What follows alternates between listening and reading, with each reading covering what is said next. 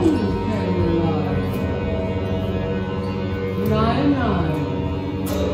Rufen, kein Raunen, Caroline. Nein, nein. Kein Rufen.